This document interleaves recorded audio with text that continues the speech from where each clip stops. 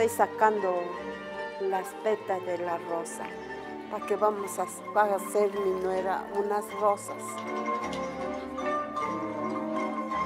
Yo agarro tres piezas para hacer una rosa grande que decimos acá, la rosa tradicional, para la vela tradicional. Lo voy moldeando con el dedo para que agarre la forma de como una rosa. Tengo una mata de rosa. Ahí corté una rosa viva. Entonces yo desbaraté.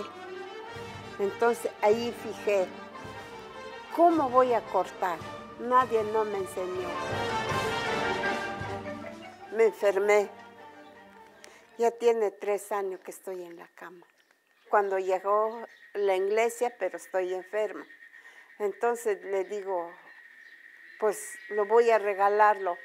Si Dios me da permiso, voy a sanar. Ese día que ese que saqué de estas rosas, hasta ahorita que me ayudó Dios, que estoy vivo. Te sanó.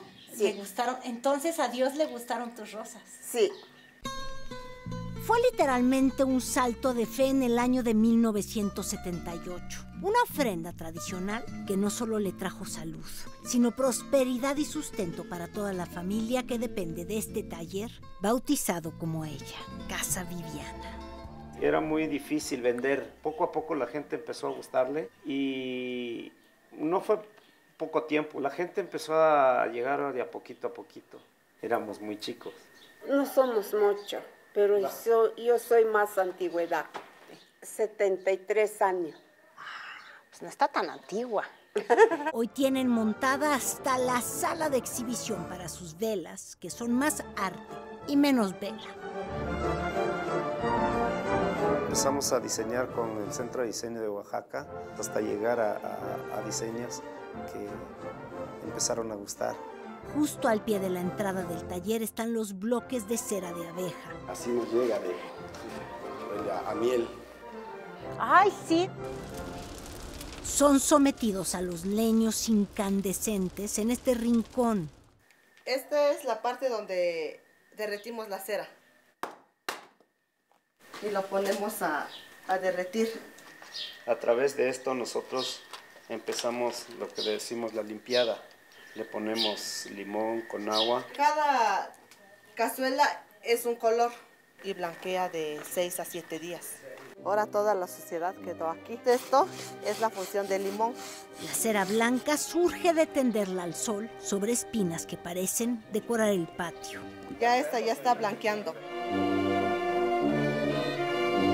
Básicamente son varios procesos antes de que entinten de manera natural con la cochinilla y otros colores que les regala el entorno.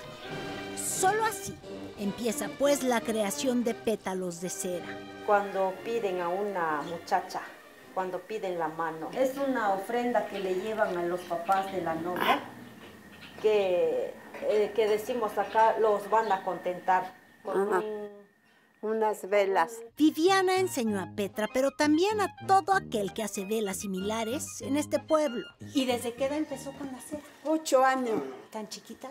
Sí, ¿Por qué? es que yo no fui a la escuela. Ajá. Entonces yo me quedé con mi abuela. Ella me enseñó. No sé leer. Pero no sabe leer, pero sabe hacer arte. Sí, todas esas cosas yo solito saqué de estas modelos. El color, el cómo se hace. Pero yo solito. De su mente. Sí, De sus manos surgen rosas, abiertas y de botón, margaritas, hojas e incluso aves. mira, agárralo así, así. Haz uno para tú solitas. Hazlo uno, a ver. No mucho. ¿Sale?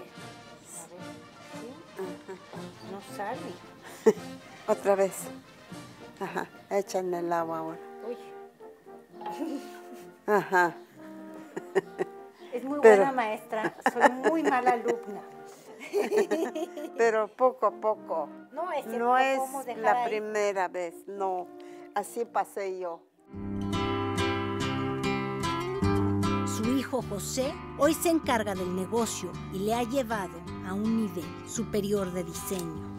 Flexiona la cera cual plastilina y en minutos surge una calavera o catrina floreada.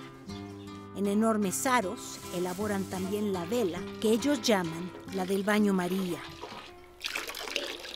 Una vez terminadas, decoran con sus colores degradados los muros del taller, donde como la cera se funden el pasado, el presente y se escribe el futuro. En las imágenes, Everaldo Hernández e Israel Basurto. Edición Alba Álvarez, Carolina Rocha Menocal, Azteca Noticias.